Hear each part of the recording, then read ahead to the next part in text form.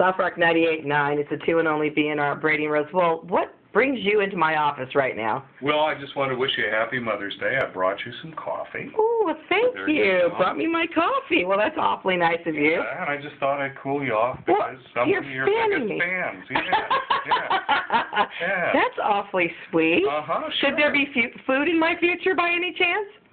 Ooh. No, I forgot. I'm sorry. You didn't forget, did you?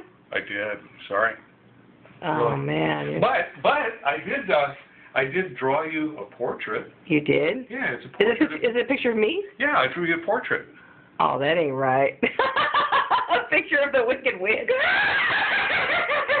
You're terrible. Happy Mother's Day, Rose. Thank you, And Bridge. all you mamas. Happy Mother's Day from the two and only B and R Brady and Rose.